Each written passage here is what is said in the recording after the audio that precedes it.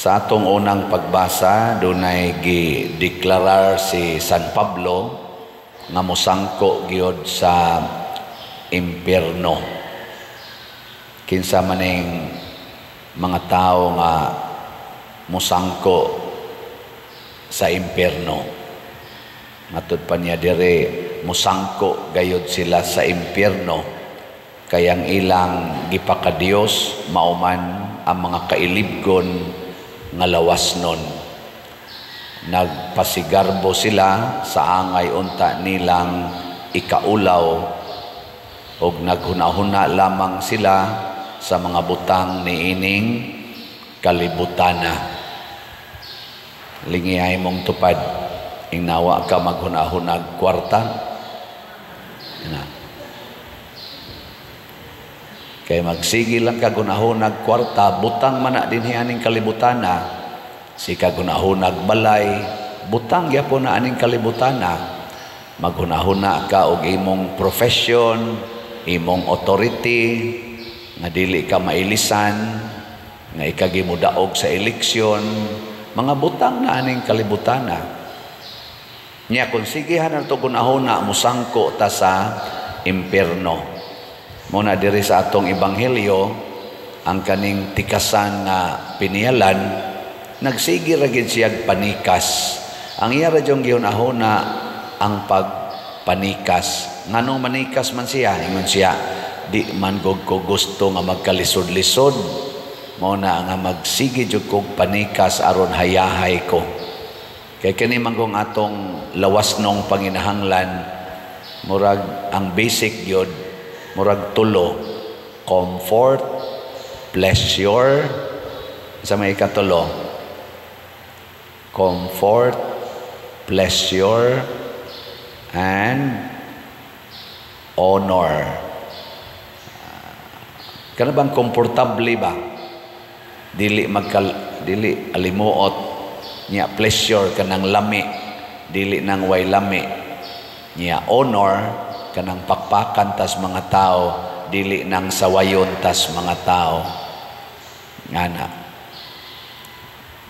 gilaing lingi sa imong tupad. Ina okay ra nimog sawayon ka? Ina ko no. Na okay ra kanang sawayon ka? Anang daog-daogon ka? Okay ra nya ka ah, dili na mahimo oy. Ana ah, padong kas imperno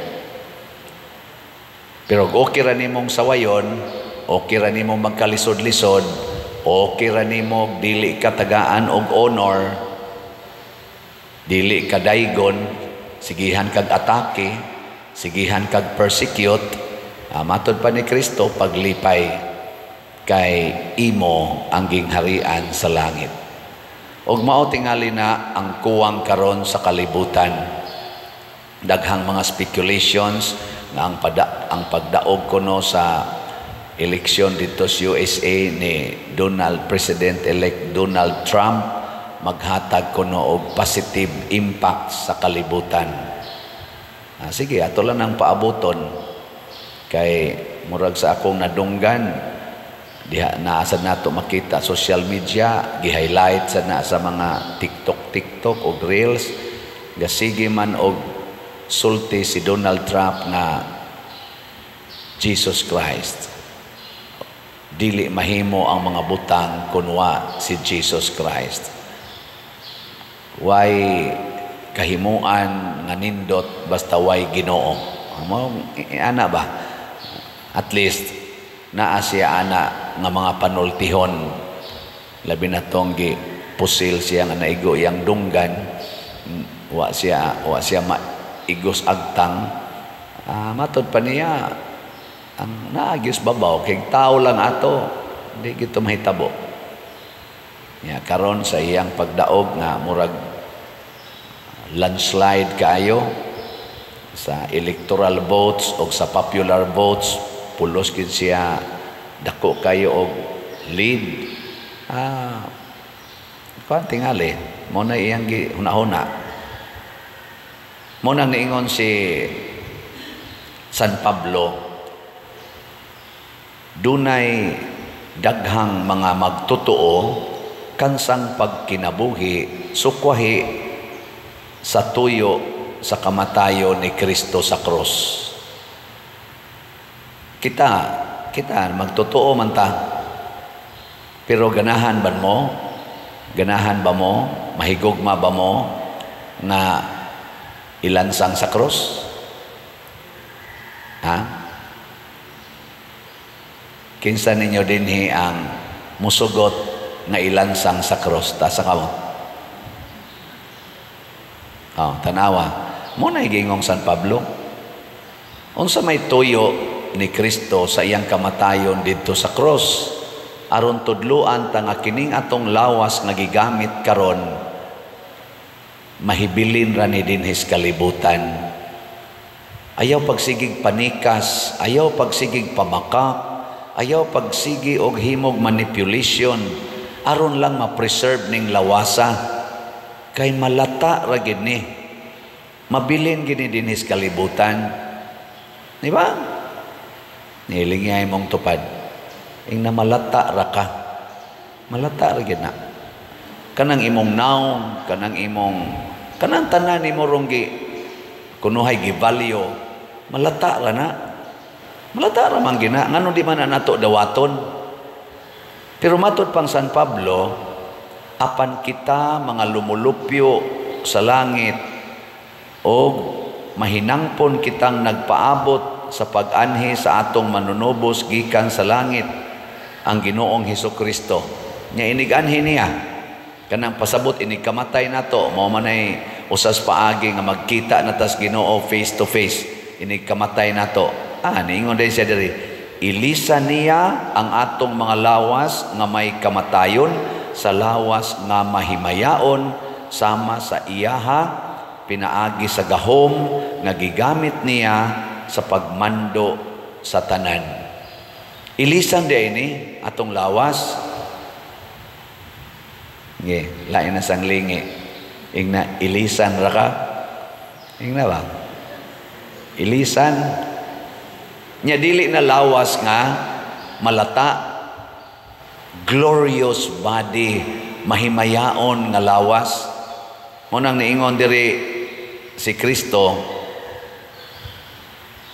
nga kay ang mga tao niining kalibutan na o niining kalibutan mas maantigo mudumala sa ilang buluhaton kaysa mga tao nga iya sa kahayag Unsa may mga buluhaton aning kalibutan na para sa lawas.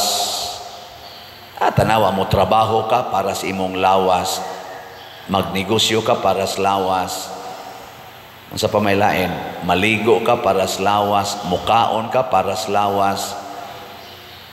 Masuko ka tungod sa imong lawas. Maproblema ka tungod sa imong lawas. Pulos gyud para sa lawas mao na mga gimbuhaton ni ining kalibutana.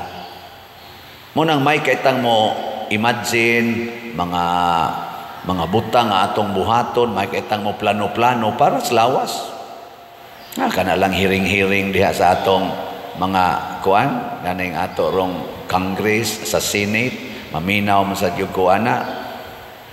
Makaingo na, na panahon nga makalingo-lingo kung makak mangini siya oh. Yang anong iya magining ipamugos? Ang iyang punto ba, iya yung ipamugos para pag-preserve sa iyang lawas.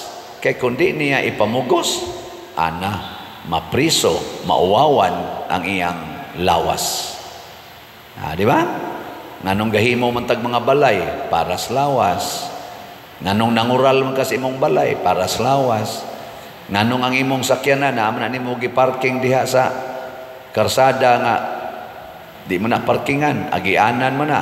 Ah, para gyapos imong lawas para di magkalisod-lisod og lakaw nga tuslayo nga inignaog na aragid sa akong tugkaran ang akong sakyanan. Pero agiana na dili na parkingan. Di ba? Para sa lawas. Ada kapoy na kay lakaw dito eh ngano man ka magpanpan ng kilid sa imong balay aron na isod ang imong sakyanan ha kapoy na kay lawas oy nga lawas gyud yang ano sige man kagkaon, tungod sa lawas. Nga mura naman nag-rice terraces imong bilbil, tungod sa lawas. Kapon. Ika ikaw pa din, ganong nidaot man ka, diabetes tungod sa lawas. Nitaas ang sugar da cut on lagi og low carb. oh, ana, daot na. Ambot ka og di ba kani mamatay ning lawasa. Ana, lawas. Pero doon na di ay mas importante pa kaysa aning maong lawas ug unsa man ang kalag kadtong kalag nat kining atong kalag mao ni ilisan og bag-ong lawas ang naong maura gyapon pero bag-o ng lawas. Ang naong inikamatay nako maura gyapon akong naong iilis. Hopefully kadto ng mahimayaong lawas. O kinsa may ilisan aning mahimayaong lawas ang mga tao sa kahayag. Kinsa man ni mga tao sa kahayag ang mga tao nga nagsunod ni Kristo nga mao ang kahayag the light of the world Jesus Christ Nya kinsa man ning mga tawo nagsunod sa kahayag dili mamakak. Sige be. Isas kamot kinsa ninyo sukad gahapon hangtod karon wa gyud ka pamakak ta sa kamot. Sige isa lang. Ah, wa gyud mo de de usa ni haksyo ginana. Kinsa ninyo gikan atong November 1 hangtod karon wa gyud ka pamakak ta sa kamot. Dali asa nyo makakay. Mao na, ang kanang bakak, kangit-ngit man na, darkness, mao bitaw si Satanas gitawag og prince of darkness. Nga naman, prince of lies pod siya. Pamakak. Mao na nga maadto gitag impierno kung mamakak ta. O kinsa man ang kusog ay mamakak, ang nagmahal sa iyang lawas pero wa maghunahuna sa iyang kalag ang nagmahal aning maong kalibutan pero wa maghuna-huna nga naa di ay laing puloy-anan nga tuas langit mao tanang naikanta nga how lovely sa tana is your dwelling place o Lord my God nga matod pa niya I rather spend one day in your court than thousands of years outside your presence Wasan mo kasabot ana no.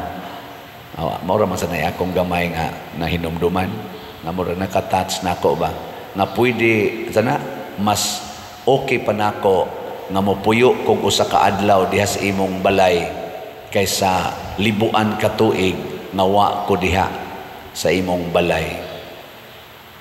Pasabot og ni ara gitas kalibutan wa gay ayo. Way ayo kanang magsigig baha inig bagyo baha dayon way ayo kaning ni ang daghan kay korupsyon? Way ayo? Kining lugar nga daghan kay mudaot na to? Way ayo? Kining lugar nga mahal kayong kilos bugas? Tinang mahala? Way ayo? Kining lugar din is kalibutan nga daghan na kay nangatak-tak trabaho? Way ayo? Ang dinhi daghan kay mga libak Sige, lingay mong tupad be na okay na nimo mamatay ka karon. Ina. Okay na? Oh, matod pa diri sa atong tubag sa Salmo, nalipay ako, magiingnan ako nila, mangadto na kita sa balay sa Ginoo. Nindot biya kayong balay sa Ginoo niya. Sa pag-adto dito, kinahanglan tang mamatay. Muna ingon San Pablo, ang kahulugan sa kamatayo ni Kristo sa cross unsa may tumong ato? Aron ta makasulod sa langit kinahanglan gitang magantos og mamatay. Ge lingi ako usab imong tupad. Ang di mo lingi maimperno. Ing na okay na nimo mamatay ka ugma. Na. Ana nya moingon ganing dili sa ato pa og mamatay na siya karon posibleng maimperno na siya kay ang kalibutan pay iyang gimahal. Pero mayon ganin na siya, ako ginang dawaton ug ako na nang gipangandaman ing nadayon. Congratulations. Ready na ang imong glorious body. Ang imong mahimayaong lawas giandam na. Giutaw na tungdaan sa mga anghel, no? Kay igsusulob na to kay ugma ng imong schedule. Ana no? Pero hinumdumi nga kanang word nga ugma one day. Matod pa ni sa Book of Wisdom bato Book of Wisdom nga ang usa ka adlaw sa Ginoo libuan na na katuig dinhis kalibutan. Ang libuan katuig para nato usara na kaadlaw sa Ginoo. Mo nang mayon ko okay ba nimo mamatay ka ugma?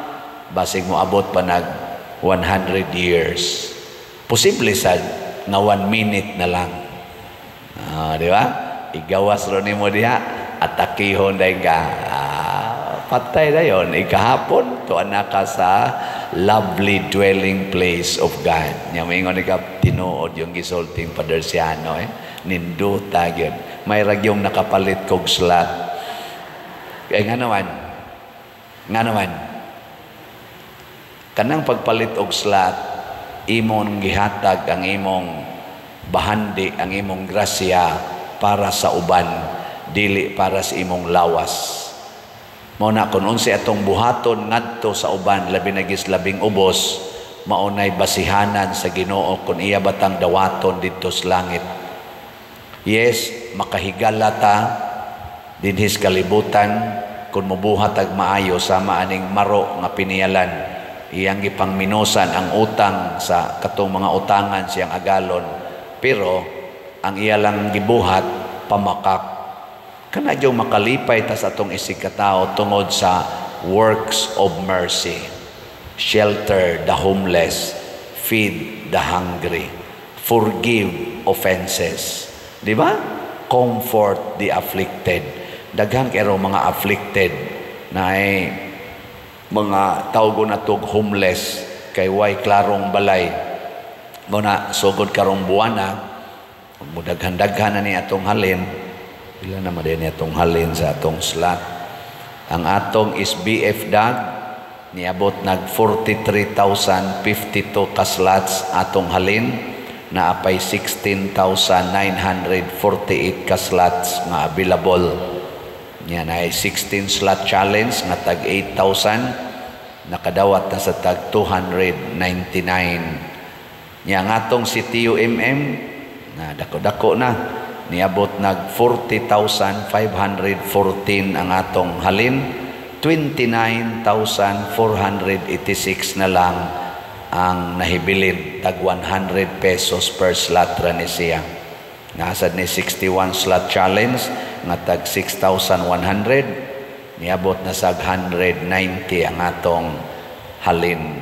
Oh, atong pagpakan ang namalit na tog slots. Kamong tanang namalit og slot insured na mo dito sa langit sa pagpalit ninyo. Pero maghimo sa mong binuang iniguman ani ang maimpierno rasad mo pero sige ra gyud mog palit sige ra gyud mog tabang sa inyong isig katao kana congratulations. Niya ang ato sang DSAP kaning investment slot na tag 500,000 pesos with 25% interest per annum na patay lima ka slots nga gi-offer. First come first serve. Sige, mao ni siya mga igsuon ang angay natong hinumduman nga dili ang kinabuhi kutob ra dinhi kalibutan. Ang tinuod nga kinabuhi kadtog yung nagpaabot nga mahimayaon. Hinaot unta nga kitang tanan sama ni San Vicente Ferrer sama sa ato mga santos nga gidebosyonan makahimog mga buhat nga mahimot ang angayan didto sa langit unsa may buhaton? Aron dili ta maimpierno di ta mo sangko sa impierno dili gid nato himuon nga Dios ang panginahanglan sa atong lawas. Pasabot dili nato sundon unsay gusto sa atong lawas. Ato yung i-verify makaayo ba kani sa akong kalag